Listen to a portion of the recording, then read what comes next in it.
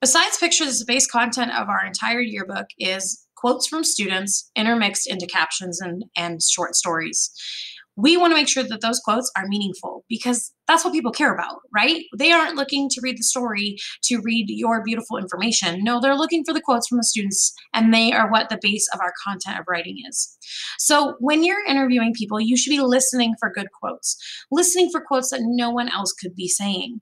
In addition, when you're reviewing interviews and you're searching for a good quote to select, you should be doing the same thing.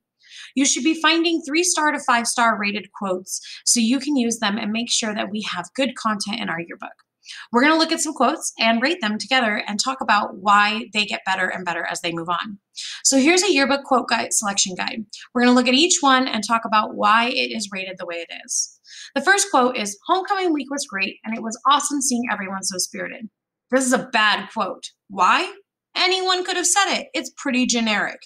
Essentially, if you're interviewing somebody about homecoming week, they probably care about it and probably saw that people were spirited. And that's just not super great.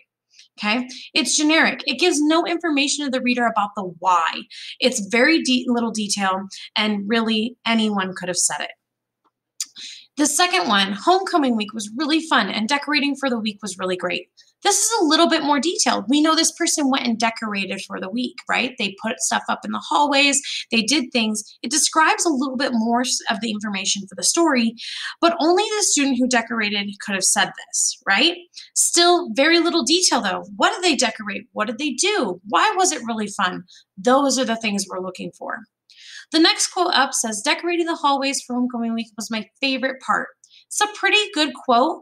It's probably our lowest level quote we want to have. But instead of just telling me what they did, I want to know why. I want to know why it was their favorite part. Why was it their favorite part? Only that person could have said that. So as we move forward to the four star, you can see decorating the hallways for homecoming week is my favorite part because we made the entrance to our hallways so cool. This is a great one, especially if it's paired with a photo of that student at the entrance of their hallway decorating. Great opportunity. And it's very detailed that only this person could have said it. But getting even more detailed to talk about why and how we wouldn't know this information without this quote would be I really enjoyed decorating our hallway because it came up with the idea to make our hallway entrance look like you were walking into the dragon's lair. That's a quote only this person could have said. This is the kind of quote we're looking for.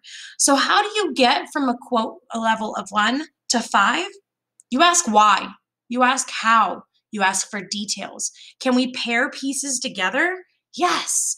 But when you're listening to an interview or you're doing an interview, you need to be listening for details that only that person can tell you.